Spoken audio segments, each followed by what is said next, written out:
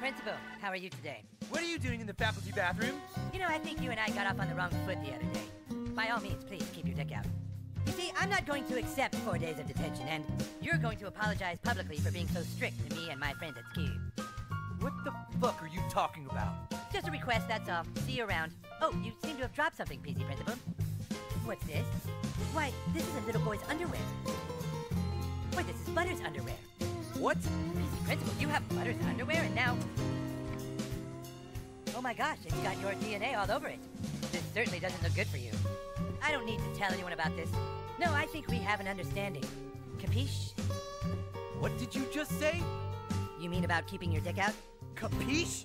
You're associating Italian Americans to intimidation tactics? You better watch your microaggressions, bro.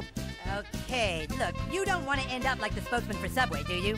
Did you just use a term that excludes women from an occupation? Okay, let's back up. Ah!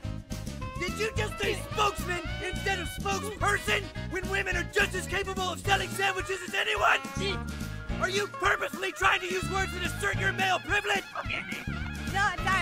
Frame you for raping Butters. Do you think Italian Americans and women are less important? Oh, God. You dare to use words that alienate two communities of people who have to deal with verbal biases like yours on a daily basis?